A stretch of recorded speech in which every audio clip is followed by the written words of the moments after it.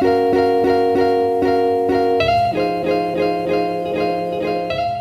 guys, what's up? Welcome back to my channel. If you guys are new here, my name is Esperanza. I live in Pittsburgh, Pennsylvania, and I'm a full-time social media influencer, content creator, whatever you want to call it. But I also do a ton of thrifting for my boho home decor shop, which is Urban Darling Shop, which is kind of like a side hustle slash passion hobby of mine. So in today's video, I'm gonna be showing you guys everything that I picked up on my last thrift trip, which was yesterday. If you guys missed that video, I will link it for you guys. I always do like a thrift with me vlog and then a thrift haul afterwards. Sometimes I combine them, it just kind of like depends. But anyway, let's just go ahead and get into it. I went to two different Goodwill locations and I found about four to five items at each one. So we'll start with this bag first. And I got a lot of different things. So the first thing I picked up is this beautiful ceramic mug. And, oh, there's a tag on it, but underneath the tag, you can see that it was handmade. There's some initials, ALB, and I actually found a ton of these handmade ceramics with that same initial. I would have bought more of them, but honestly, they were very heavy, surprisingly. This mug was like one of the lighter pieces, and because the item, the other pieces were so heavy, I was just worried about like the shipping being too expensive, so I had to pass on those. But I thought this mug was beautiful. I love this like teal green color. It's just so pretty. I'm a big fan of earth tones and greens, so I thought that that was beautiful. And I would keep this for myself. I still might, but I might end up listing it in my shop, so we'll see. So just so you guys know, some of these items are items that I'm gonna keep for myself, and then some of it is inventory for my shop. So usually I will let you guys know if it's something that I'm keeping or if it's something that's going up in my shop. Okay, next is this wood cutting board. I've sold a few different cutting boards in the past and one that was like, I think this exact one, um, it does have some like wear and tear on it, but pieces like these are great for decorating like a kitchen. If you have open shelves, you can like stack them with different items like grouped together. You can also just stack them like in a grouping on your counters. So a lot of great things that you can do with this as far as decor, or of course you can use it as a cutting board. I like to use these for picnics as well, just to like put little items on for display and stuff. So definitely very useful. And this will be going up in my shop. Next is this wood decor piece. It's a wood heart and it's actually very thick and it has all these different like layers of wood which make it really cool.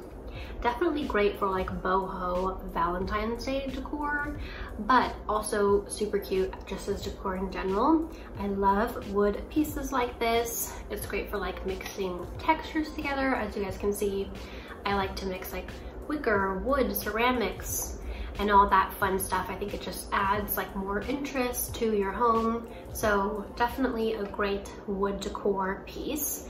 And this will be going up in my shop and I just thought it was like very unique. So I thought for sure somebody would love this. I also picked up this brass paper towel holder. So great for brass lovers. I feel like brass, like this kind of decor actually looks really great with boho decor, like boho chic, which that's kind of like what I consider my interior style to be is kind of like boho chic. And I feel like brass decor like this really complements that style. Some people like absolutely love brass decor. I don't have a ton of it in my own home, but I think brass like this looks super great with boho chic decor. So this will be going up in my shop. I also picked up this wood rack. I don't really know what you would call these. I think it's like a wood shelving rack unit. I'm not sure what the exact name is, but you basically just hang it up on your wall. I've actually got one in my entryway and I just hang like my purses on it. You can hang coats, you can hang hats, all that good stuff. This one's like a little bit different because the end doesn't have like an end piece. Usually you'll see it where it's just like the same on this side. But I love this like wood tone and it's in really great condition. The one that's hung up in my entryway is actually a little bit rickety, but this one is in great condition. So if you guys like that look, this will be going up in my next shop as well. Okay, next is everything I picked up at the second Goodwill location. Much bigger bag. So the first thing I picked up is this basket here, which is a long rectangular basket. It has a pretty good depth to it. So you can actually store quite a bit in here. Um, this looks great on shelves. It's great for like office storage, just any kind of thing that you would want to store or display. I love wicker baskets for. They're super useful and I think the texture of it is just super fun and definitely gives your home that like bohemian feel. This is the only basket that I picked up. There were tons of other baskets, but I have several in my shop. So I passed on some of the ones that like I already have similar baskets to, but this one was a little bit more unique. So I wanted to pick this one up and it's also like very sturdy. Some, some wicker baskets can be like very delicate, but this one is very sturdy great condition, so super good for storing stuff.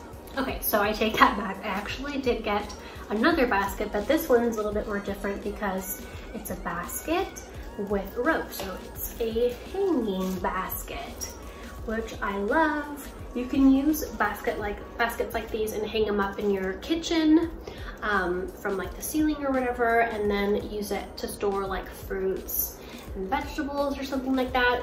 You can also put like a plant in here and use it as a planter basket. So definitely lots of things that you could do with it. And I still have to figure out if I'm keeping this for myself or if it'll be good for my shop. I have kind of like weird ceilings, which you can't see right now, but my apartment is um, it's like an attic loft apartment, so we've got kind of like these weird ceiling slopes and stuff, so I want to kind of like look around and see if there's a spot that would work for this. But just because it's kind of like fun and unique, I'm kind of wanting to keep it. But if not, it'll go up in my shop. And sorry, I didn't mention, like, I haven't been mentioning prices just because, like, I haven't done that in the past, but I figured I would share some of these prices with you. So this um, basket here was $3.99 and I think that's a fair price for this item. And let's see here, what other items did I show you guys? I think this mug was only a dollar. Okay, I'll be sure to tell you guys prices on these next ones. Next is this ceramic bowl here.